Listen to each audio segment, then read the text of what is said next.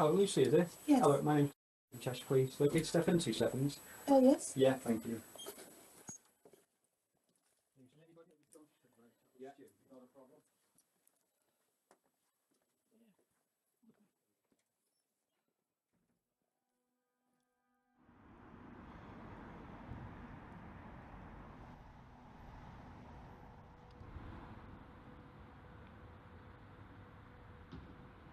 Did you have any concerns that there was a rise in the mortality rate?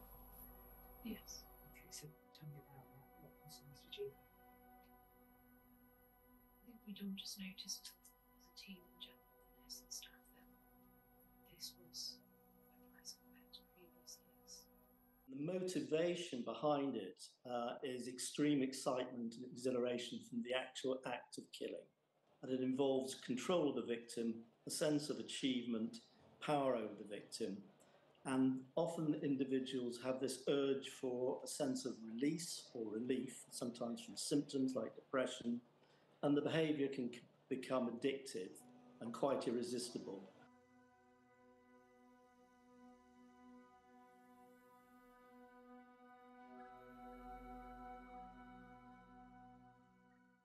Think psychologically healthy people do not kill.